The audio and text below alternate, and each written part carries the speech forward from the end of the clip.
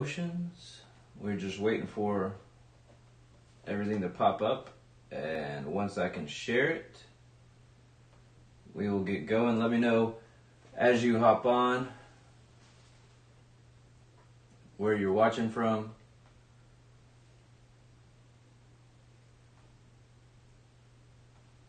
Just waiting for it to come on. There we go. There we go.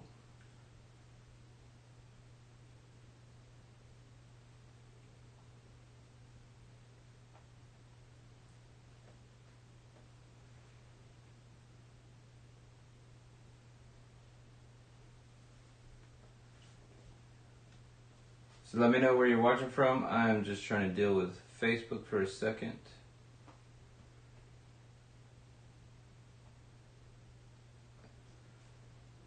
So once you hop on, let us know. Man, now it's going to all kinds of videos. I'm struggling this morning.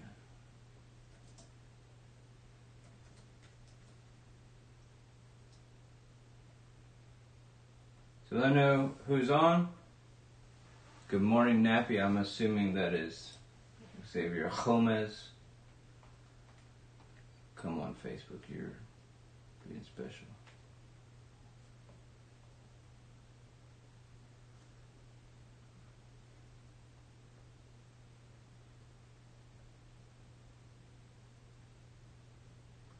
Let me know how your weekend was. South Carolina. Okay, it won't let me share it. It won't let me get on as myself.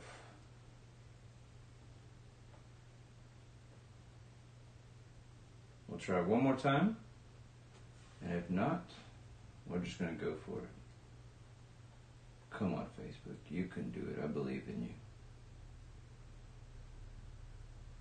Alright, not to happen. Alright, thank you, Facebook. We love you. Appreciate your faithfulness. So let me know who's watching. I saw Mr. Hagan Sr. Mr. Gomez is watching. I see other people are watching. So just let me know where you're watching. This morning, we, like I said, we are getting in, Miss Donna White, good morning.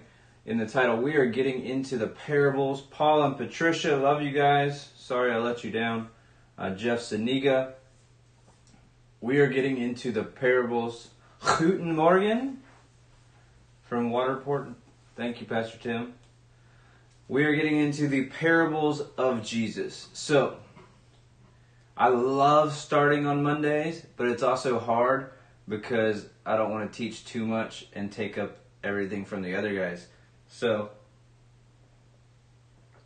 I had to pick one parable, and I am going to go in Luke 15. So, we are going to go to Luke 15.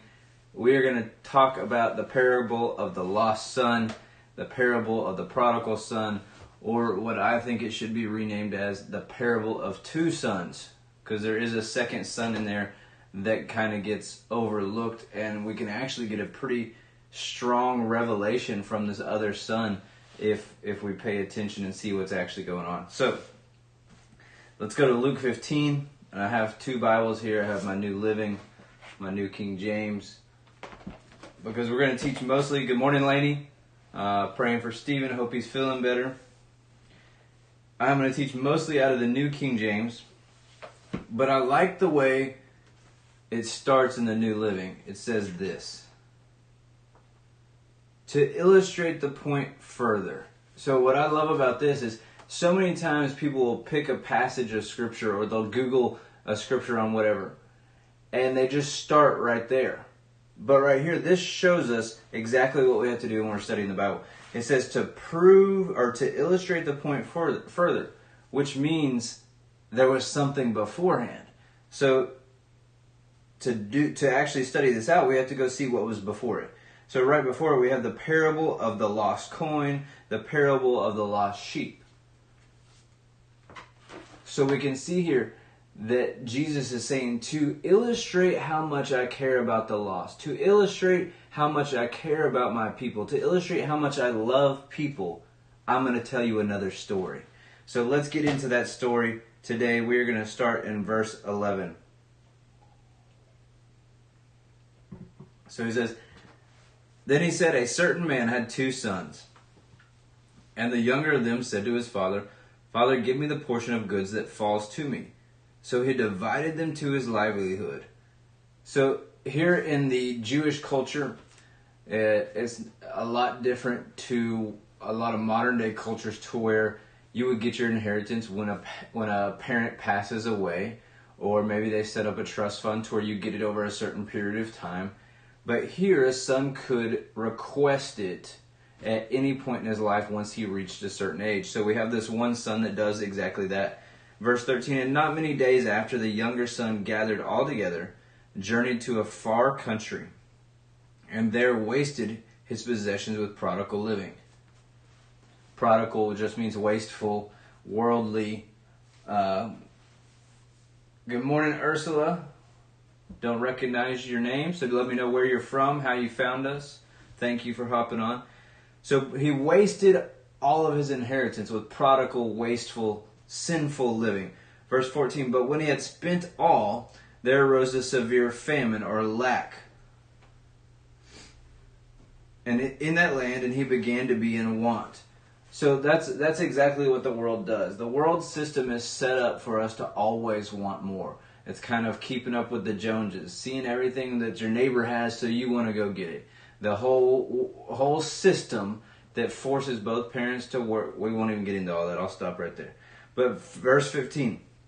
Then he went and joined himself to a citizen of that country, and he sent him into the fields to feed the swine. So what did this this person do? This son do? He realized there was a lack. He realized there was a famine. He realized he was desperate. He realized he had to do something. So he basically sold his soul out and attached himself and became a slave to the world system. Verse 15 Then he went and joined himself, this is where we were, uh, to a citizen of that country, and he sent him into the fields to feed the swine. And he would gladly have filled his stomach with the pods that the swine ate, and no one gave him anything. So he wasted all of this money and wasted everything. And he was willing to eat the trash that the pigs were eating. So that, that shows us there that there is a a void or a lack that the world cannot fill. But what is the word? The word tells us in Psalms 37 that even in a famine, we shall have more than enough. Those that belong to God will have more than enough. Verse 17, but when he came to himself, and what I love about that is in another translation it says, when he came to his right mind. We all know that the word tells us that he has not given us a spirit of fear, but of power, love, and a sound mind.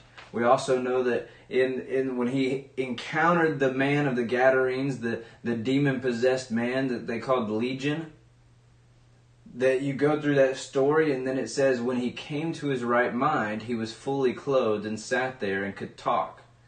So we see a big part here that says when he came to his right mind. When we're operating under the world system, our mind is clouded. Our mind, there's interference in our mind, if you can say that.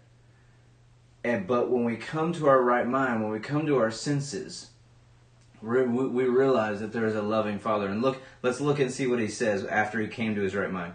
When he came to himself, he said, How many of my father's hired servants have bread enough and to spare, and I perish with hunger with hunger? I will arise and go to my father, and will say to him, Father, I have sinned against heaven and before you.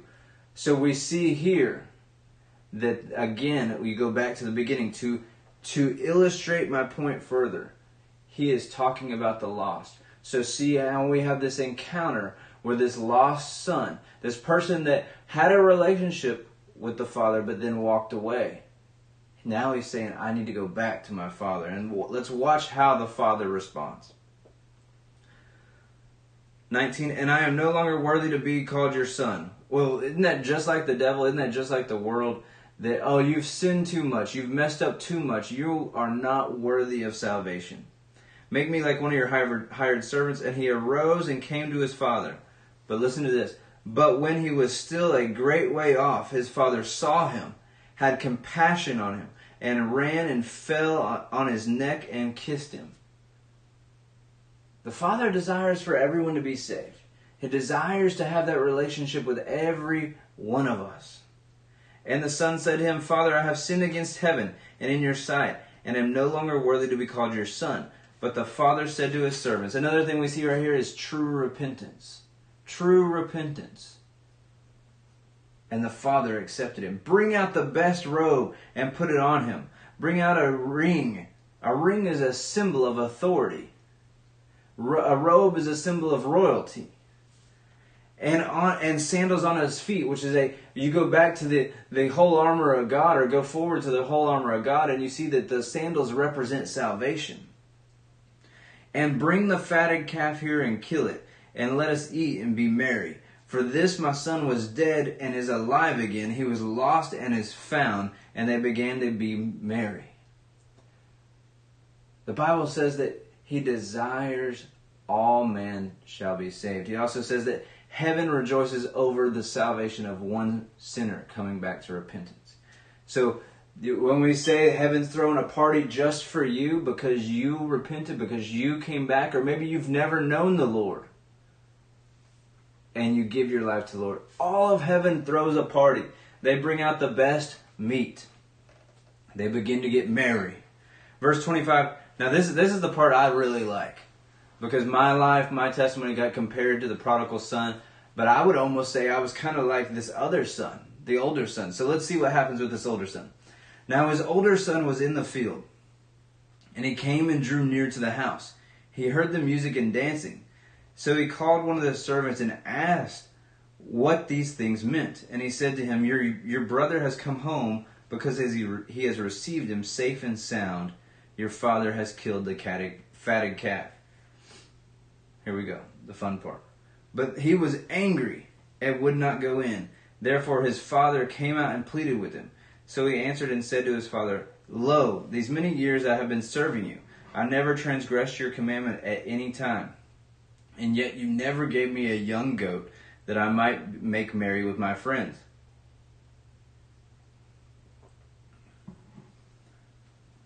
But as soon as this son of yours came, who has devoured your livelihood with harlots, you killed the fatted calf for him. And he said to him, This is, this is the part where I really got a revelation. And he said to him, Son, you are always with me, and all that I have is yours. So here we have this son that was with him the whole time. And if we don't get the revelation of what I'm about to say here, then that's what leads us into becoming the other son. Is we have to get the revelation that all that the Lord has is ours that if this son had gotten that revelation, that he would be happy with the father. That if he'd have known the revelation or had the revelation that everything that the father had belonged to him the robe, the ring, the sandals, the fatted calf, the young goats all of it already belonged to him. All he had to do was ask. So many of us are walking through Christianity, walking through our relationship with the Lord, seeing the promises in the Word, and we're complaining that we don't have them instead of using our revelation, realizing that we already have them, claiming them in faith, and receiving them in faith, and declaring the goodness of God, and walking in the fullness of God. Verse 32 It was right. We should make merry and be glad, for your brother was dead and is alive again, and was lost and is found. Good morning, Dinley, Lisa, Paula.